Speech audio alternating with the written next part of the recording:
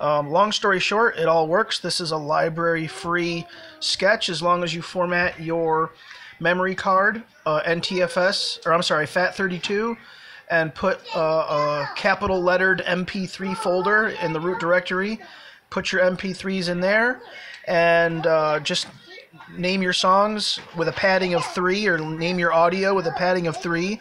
So 001.mp3 and 002.mp3, uh, and everything will work. This is a sample sketch based on my DL44 uh, Han Solo blaster, just a simple trigger and a reload sound. So, and the code I've posted uh, in the comment section. And then you kind of tip the gun back and it reloads.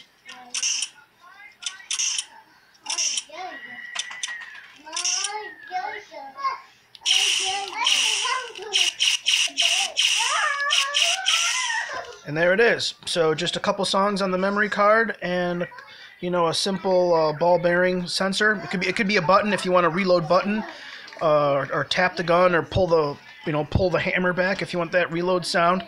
Or if you're fancy, you probably could build some sort of eight tick code so you can fire eight shots and then the next trigger pull would be a would be a reload. I mean, it's just uh, how complicated you want to get with your sketch.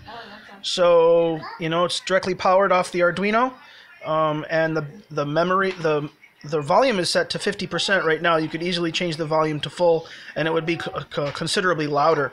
Just powered off the WT, I, or powered off the Nano. I must say that the volume on the DF player is much higher than the the WT 588D. So there must be some sort of maybe amplification going on in there, maybe it's just better uh, better signal or more volume control. Who knows?